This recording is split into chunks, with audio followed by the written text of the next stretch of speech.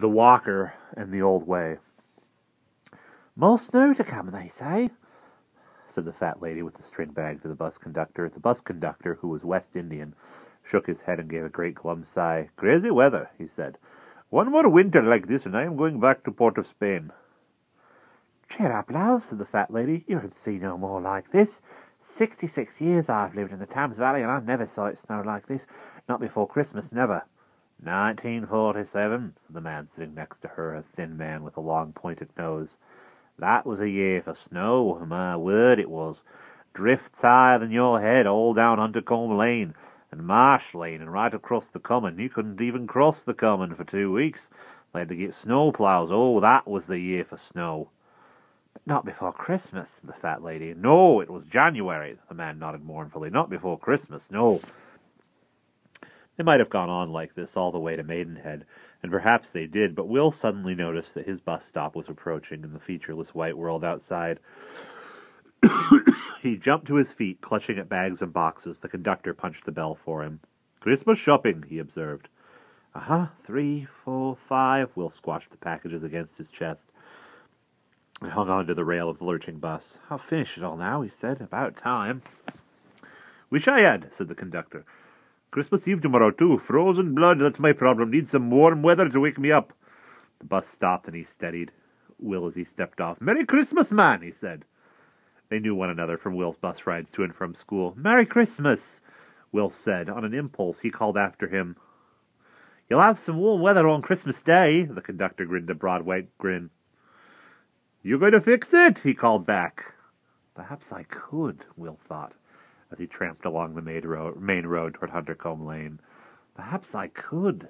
The snow was deep, even on the pavements. Few people had been out to tread it down in the, in the last few days. For Will, they had been peaceful days in spite of the memory of what had gone before.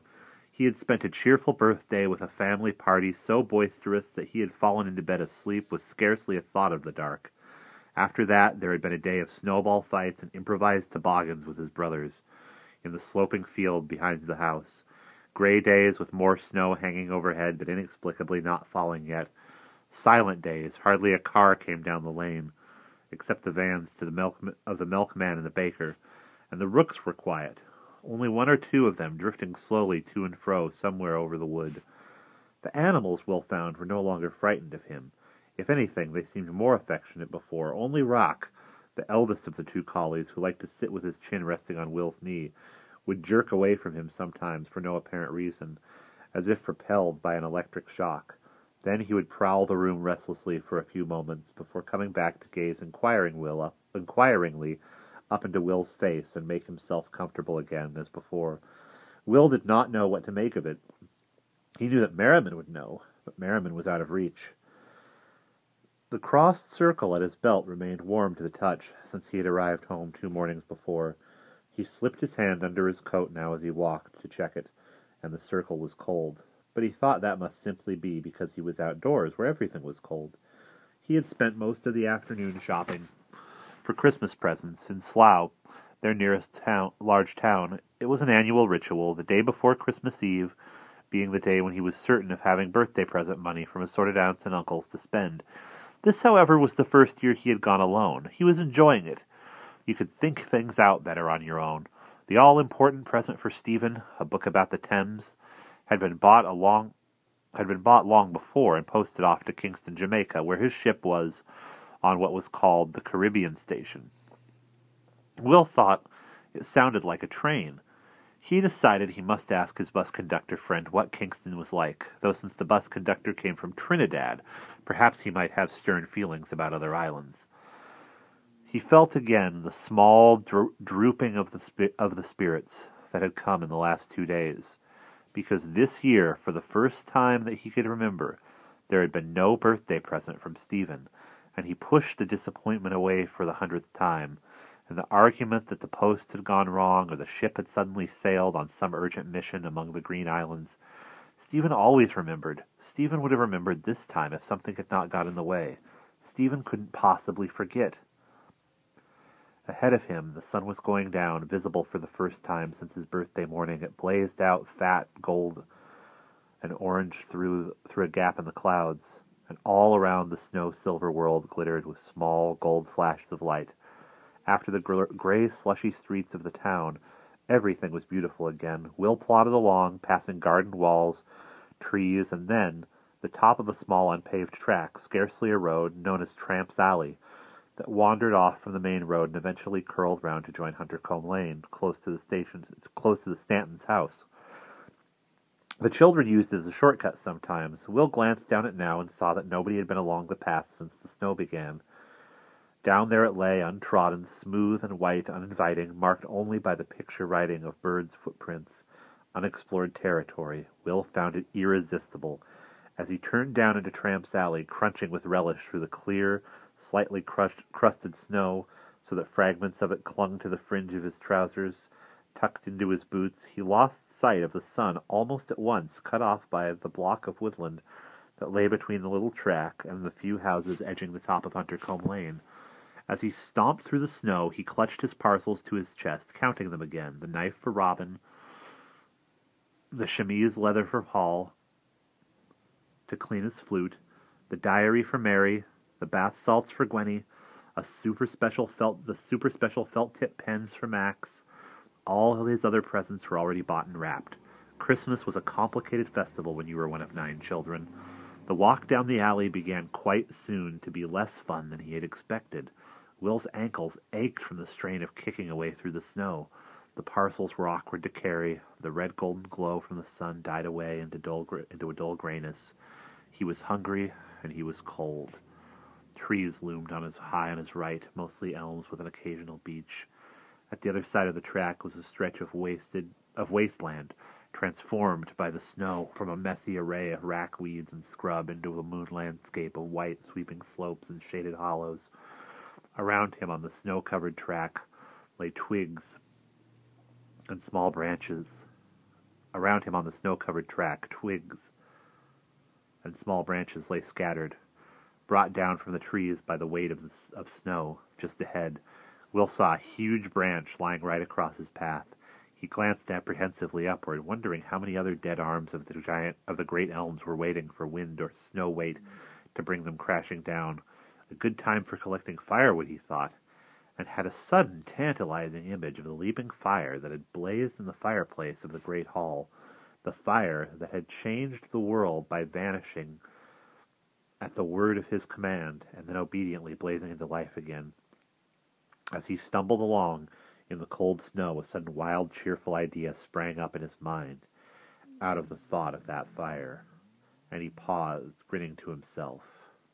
You gonna fix it? Well, no, friend. I probably can't get you a warm Christmas day, really, but I could warm things up a bit right here, now. He looked confidently at the dead branch lying before him.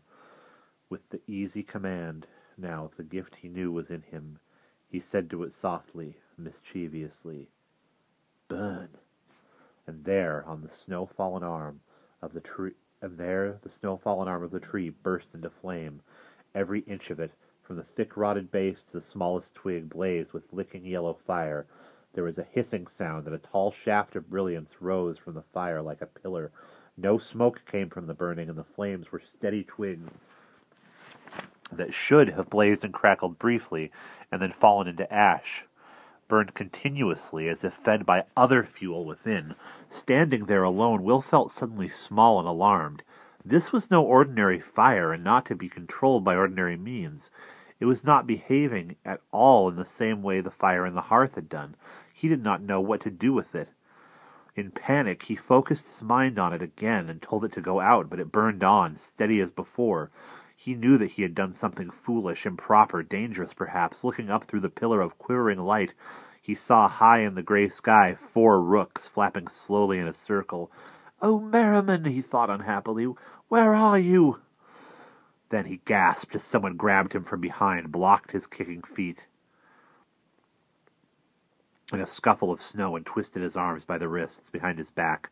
The parcels sla- scattered in the snow. Will yelled with the pain in his arms. The grip on his wrists slackened at once, as if his attacker were reluctant to do him any real harm, but he was still firmly held. Put out the fire! said a hoarse voice in his ear urgently. I can't, Will said, honestly. I've tried, but I can't.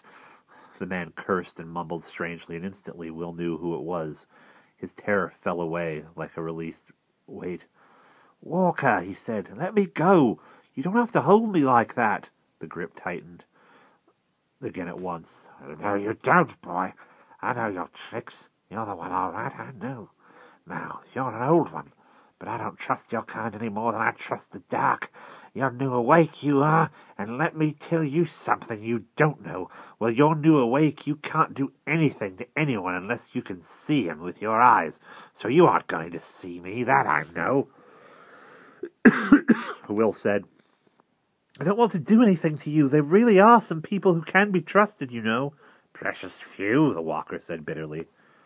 I could shut my eyes if you'd let me go. Pah, said the old man. Will said, You carry the second sign. Give it to me. There was a silence. He felt the man's hands fall away from his own arms, but he stood where he was and did not turn around. I have the first sign already, Walker, he said.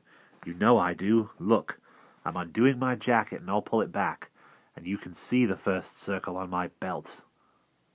He pulled aside his coat, still without moving his head, and was aware of the walker's hunched form slipping round at his side. The man's breath hissed out through his teeth in a long sigh and looked.